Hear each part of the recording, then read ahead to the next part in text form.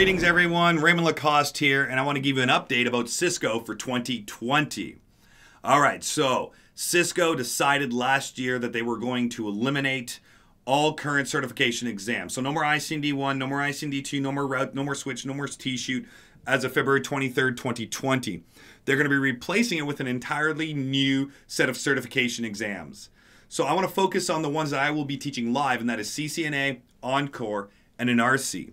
So, what is CCNA? Well, it's still your associate level certification exam. It's your entry point, it's your foundational knowledge and skills that you need to be successful.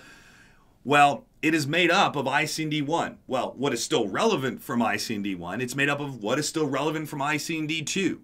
It's also made up of a little bit of CCNA wireless. It's also made up of a little bit of CCNA security. So as you'll see here, there is only one CCNA certification exam that focuses on routing and switching and security and wireless. There is a cyber ops, but when it comes to routing, switching, security, wireless, that's now baked into that CCNA certification exam. In addition to that, any other topics that they felt were relevant today that were not covered in any of those before are now part of CCNA as well, so you can build that foundational knowledge that you need. We have already we have already taught this live. That's right, we've already taught CCNA live, and it's not even February 24th yet. So already we have videos up in campus, which means that any student that comes along looking for CCNA training for February 24th, 2020, we already have it. And we're going to continue to expand the catalog of CCNA and the products that are offered in there between now and February 24th.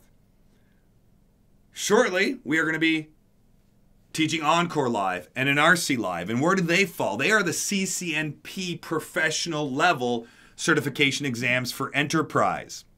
So we go under CCNP Enterprise. There are a lot more. There is a lot more than just ENCOR and ENARSI, as you'll see here. But what is ENCOR? What is ENARSI? Well, when you think back to the old certification track, we had route, switch, and T-shoot. Well, ENCOR is really a combination of route and switch, as well as additional technologies added to it that are relevant today.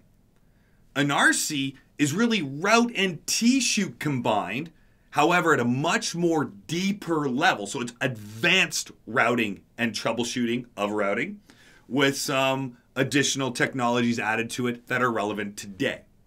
So if anybody's looking for CCNP level certifications that cover routing and switching, there is ENCOR. If they're looking for in-depth routing knowledge and troubleshooting knowledge, that is ENARSI when it comes to the CCNP level or the CCNP Enterprise certification track as it's called today.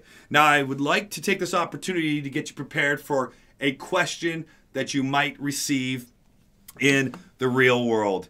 Well, you get to see our new 3D model that we are using for our CCNA, ENCOR, and ENARSI classes. So the question you might receive is, why do I need to take CCNA if it's no longer a prerequisite? So a prerequisite is something that must be done or accomplished before you can move on to the next level. Well, Cisco doesn't have that anymore. They have eliminated all prerequisites. Now, why did they do that? Because they felt like it provides you with the foundational information you need. If you don't have that foundational information you need, then it's really hard to get through ENCOR. It's impossible to get through ENARSI.